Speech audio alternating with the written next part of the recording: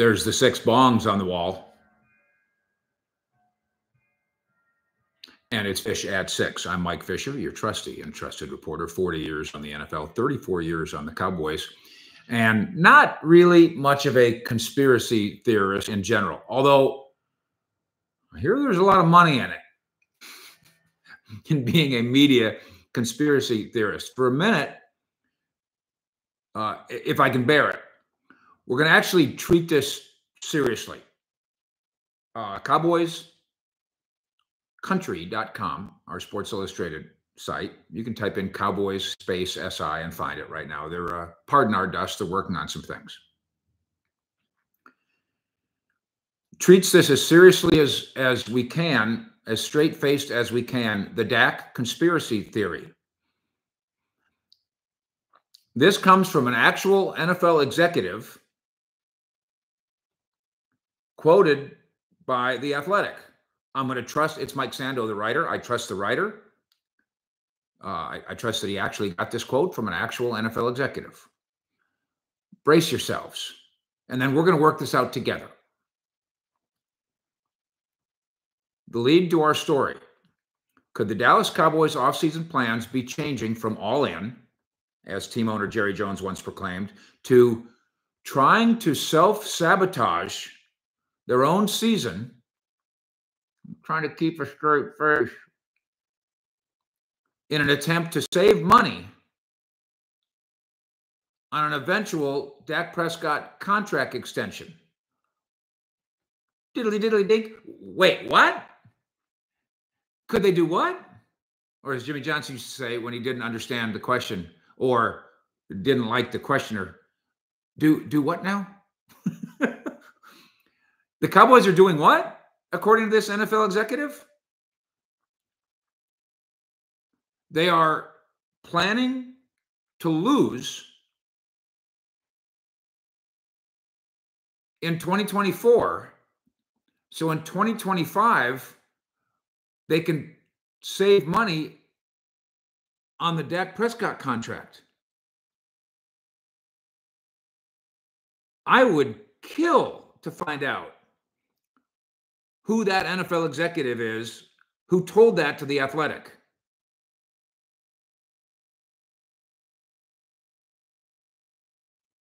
It's beyond moronic. The thing about a Cowboy Nation right now is you have been put in position, not uh, any fault of yours. Conspiracy theories come along, and I don't blame you for going, I don't know what they're doing does seem pretty crazy. Uh, somebody's out there saying that this is all because, first of all, there's people out there saying this is happening, what the Cowboys are doing because Jerry's out of money. No, he's not. Then there's Jerry's going to sell the team, and so uh, he's going to sell the team anyway. So why pitch any money into it? Completely ridiculous. Except I, I understand why when you hear that you're going, I mean, I don't know. I don't have any other very good ideas except for the one that I pitched here five weeks ago that has now caught fire, which is all in means we're going to try with what we've got this year and then blow it up and start over in 2025, which is precisely what they're doing. Look at I I see your comments. Fish, I know it's ridiculous, but I won't I don't put penny anything past them now. I get it.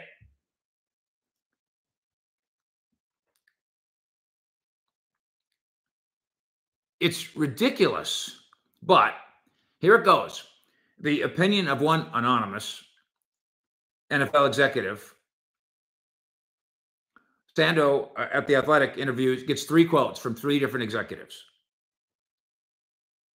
Here's the quote from the executive about what he claims the Cowboys are thinking and doing.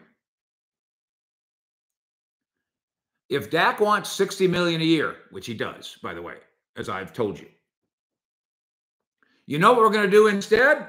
This executive says, pretending that he's a Cowboy executive, telling the athletic what he believes the Cowboys are doing. We're going to have an average team. We're going to play worse. And then, Dak, we're going to get you at a better price. How do you like that?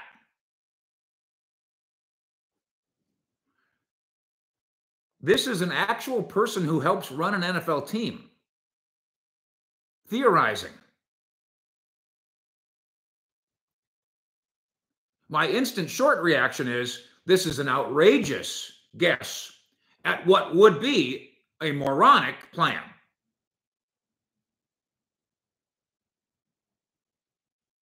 We have all in, then we have do more with less. I got blow it up after this year.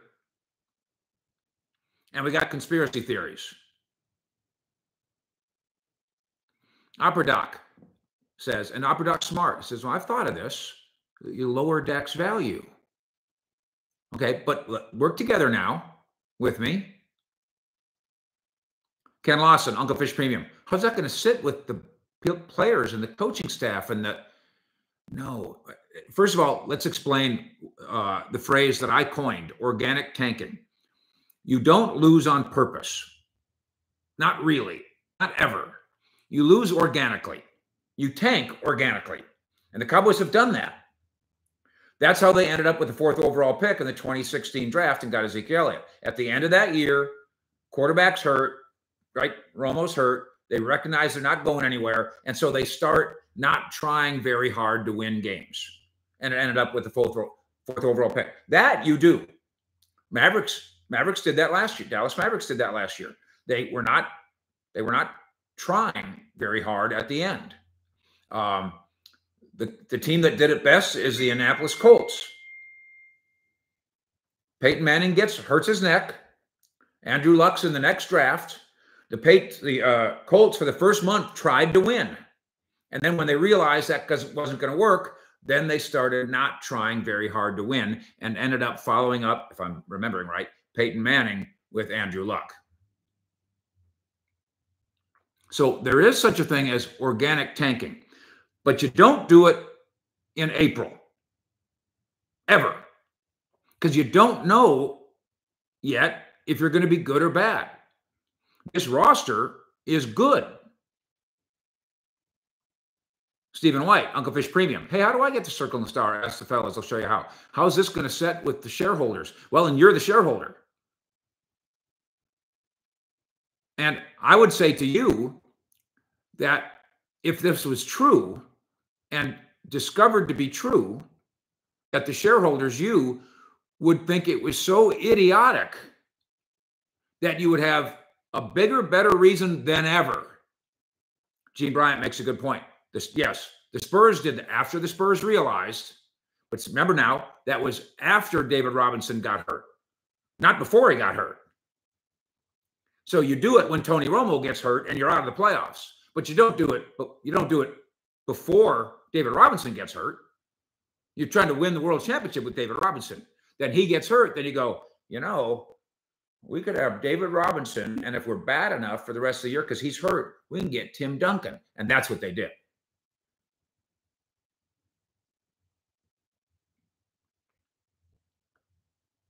I don't have to go through the roster losses.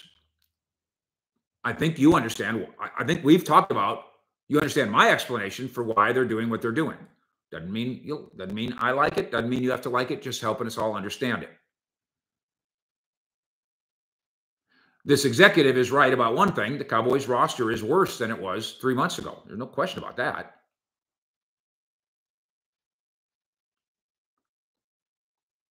It's also notable that the Cowboys' cautious approach to spending isn't just about Dak when it comes to star caliber players. They haven't signed CeeDee Lamb. And Jerry's comment about CeeDee Lamb is, I mean, he really did say this, uh, Mr. Media. Yeah, what you got to measure is is is one player uh, worth more than four or five that you could get. He actually said that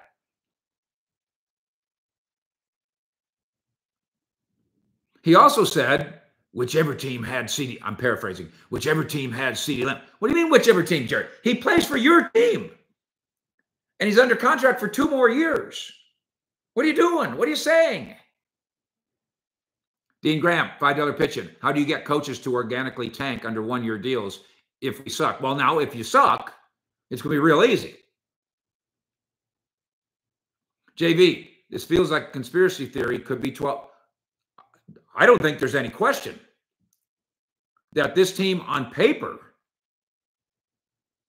is still a, on paper, not paper money, by the way. I'm not betting on it. I'm just saying, look at this team, look at the NFC East. This team wins 10 games, capable of winning 10 games or more. Still a good roster.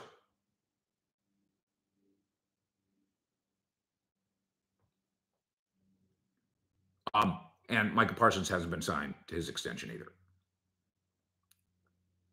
So let's dig into the roster. Gene Bryant, they will be bad.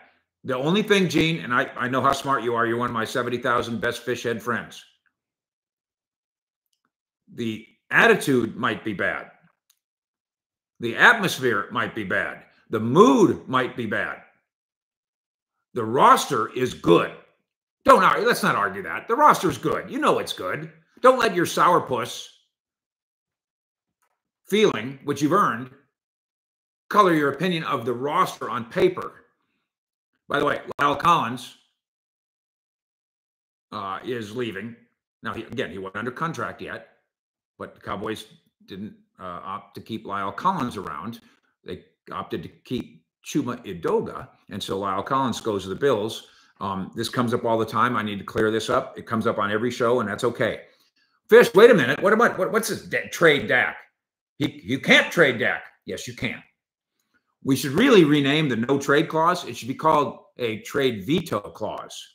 You can trade Dak Prescott. It's just that he can veto any trade that he doesn't want accepted, which, by the way, the Cowboys should have never. Why would you ever put that in that contract? Ratio. Why would they keep Dak's buddy La'el around? Uh, only because they need offensive linemen, and uh, in terms of physicality, I don't. Well, first of all, uh, two answers. One, you could keep Dak's buddy around because he's Dak's buddy. You could. You could factor that in.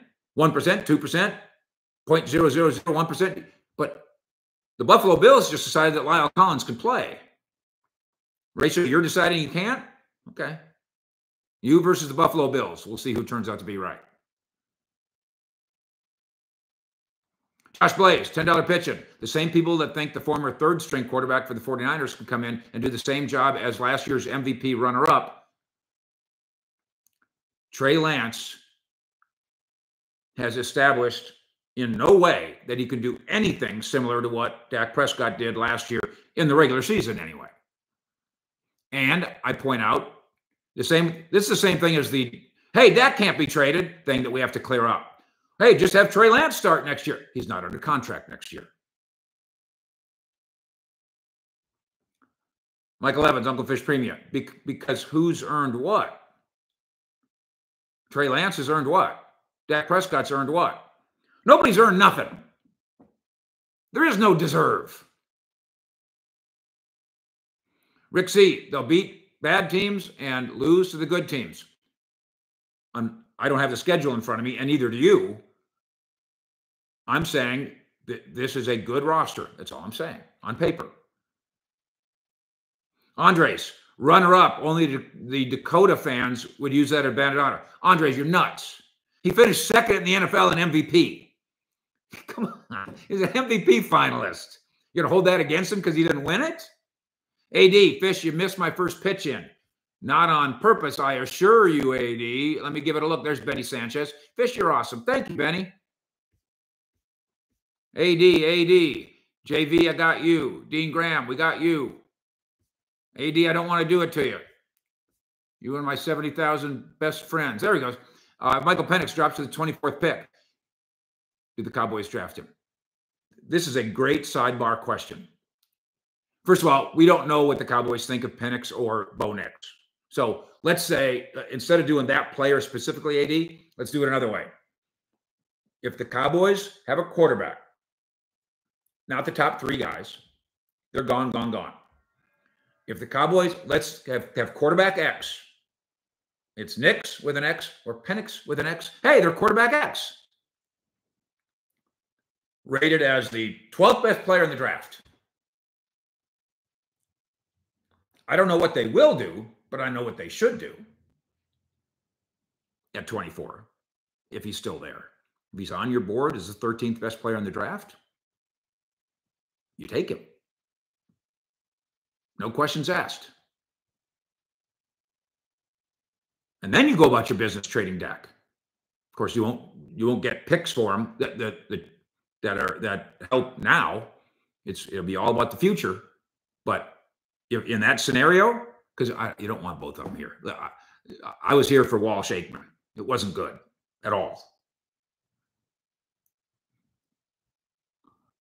Let's dig into the logic of the conspiracy theory that the Cowboys are planning to be bad so they can get Dak cheaper.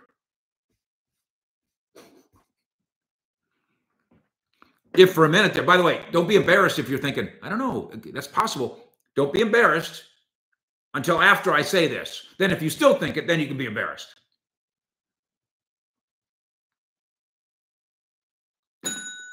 This theory, more than theory, from an NFL executive, anonymous, the Cowboys are taking a 12 and 5 playoff roster and throwing away a chance to win in 24. So in spring of 2025, they can talk Dak into signing for 55 million, let's say, APY, instead of 60 million APY. So they're throwing away a season for $5 million of cap room? $5 million of cap room will get you half of Tyler Biadasz. That doesn't make any sense. So that's out. Tanking a season is not worth $5 million with a cap room. So that's out. So you're bad on purpose. And the guys in the locker room are going, they're making us be bad on purpose. And so Dallas is a losing team. And this idiot thinks that Dak would be more likely to resign for less with a losing team than he would to sign with a winning team? No. Oh, by the way, if you don't sign him this year, he's a free agent next March. He doesn't care. He's not obliged to care what you are or were he will go to the highest, best bidder.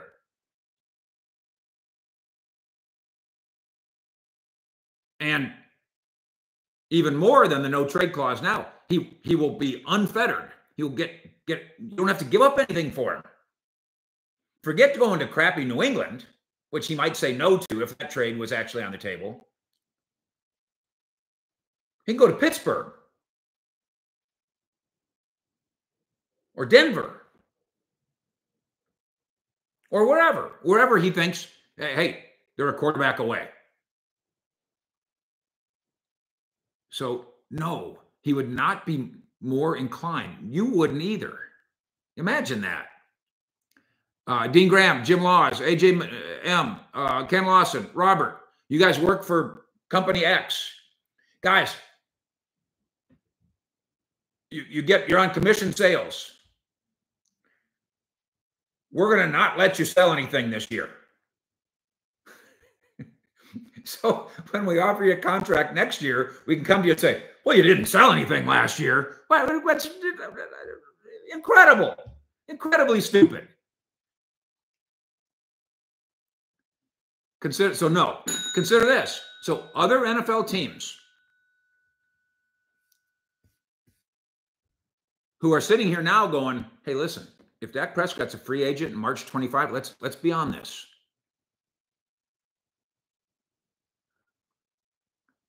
This plan would dissuade them.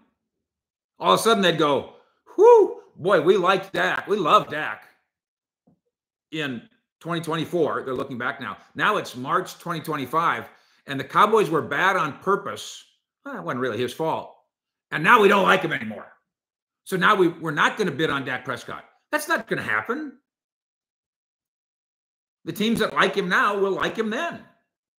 The teams that right now think he's a $50 million quarterback to me right now will recognize if they need a quarterback, he's a $60 million quarterback a year from now. Because if the Cowboys are bad and it's ownership's plan for them to be bad, it won't be the player's fault. It won't mean that CeeDee Lamb, Micah Parsons, and Dak Prescott are bad. It'll just mean their ownership and their front office is stupid and bad. So none of this is happening.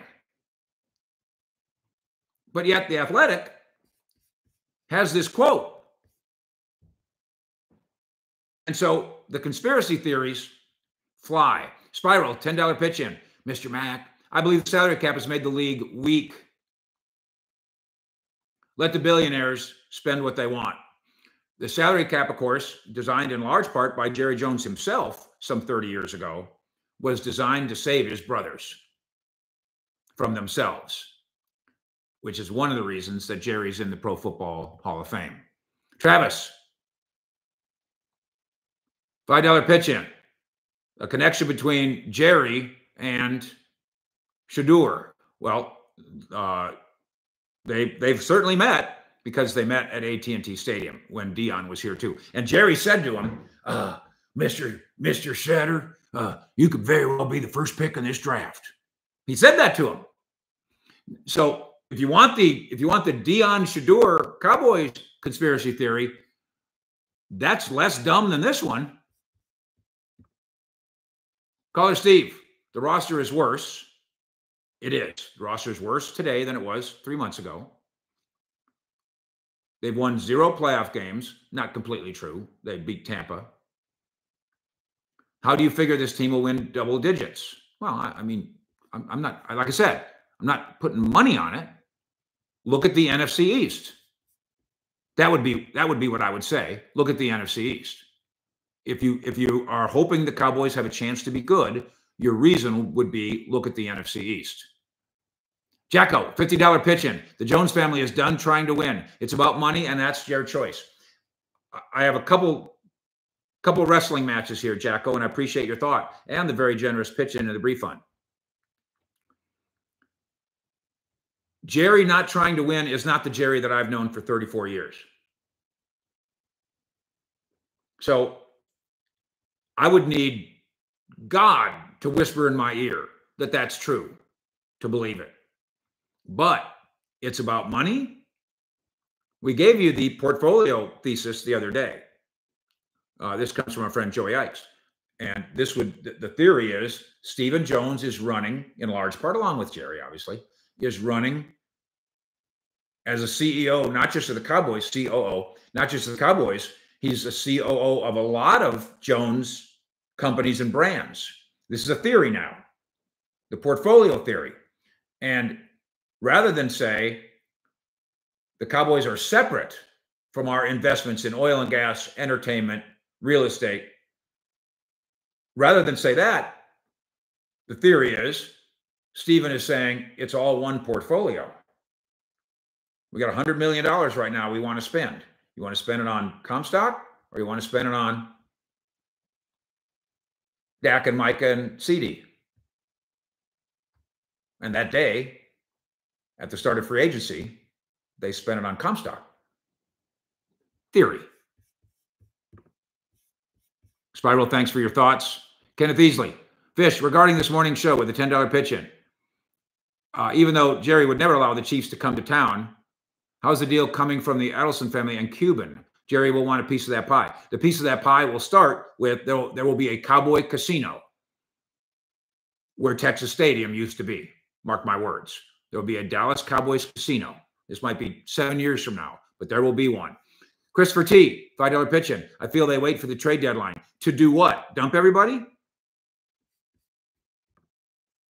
If the Cowboys have a bad record at the trade deadline and Dak Prescott is about to free a free agent, yes, you're onto something, but not Micah and not CeeDee Lamb. This, my view is this I understand the straddling the fence on Dak. I do.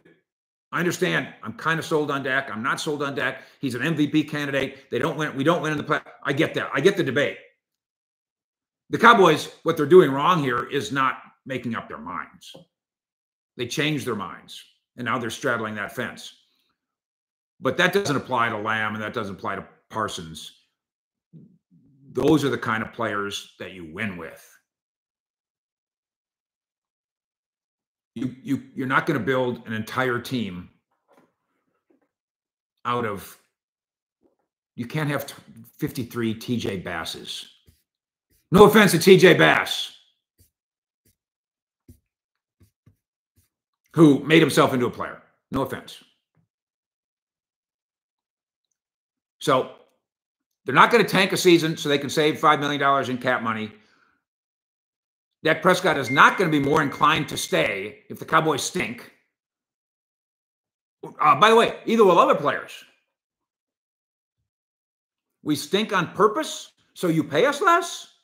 How's that going to play with Micah and CeeDee Lamb?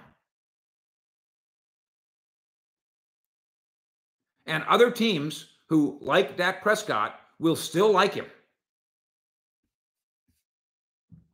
Even if the Cowboys decide to decide he's got a, a, a, a hangnail, we're going to put him on IR. That will not change what other teams think of Dak Prescott if they think highly of him. It will not. The best theory I would humbly submit is still the one that we've talked about here for five weeks.